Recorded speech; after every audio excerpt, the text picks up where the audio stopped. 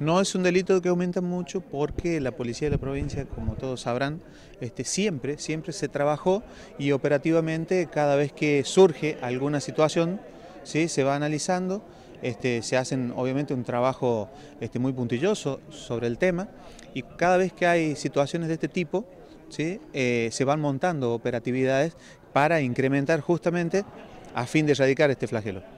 Ahora, aparece un problema. Eh, muchos delitos en el medio o interviniendo hay menores. Ahí se complica un poco más para poder trabajar por más que se los pueda detener.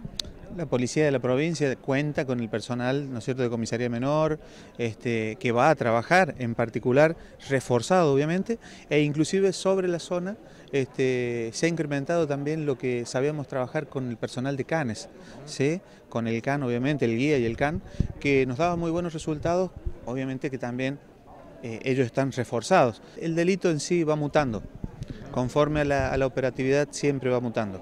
Eh, como usted lo decía, es cierto, eh, he trabajado en comisaría primera y también he sido jefe de la comisaría en dos oportunidades diferentes.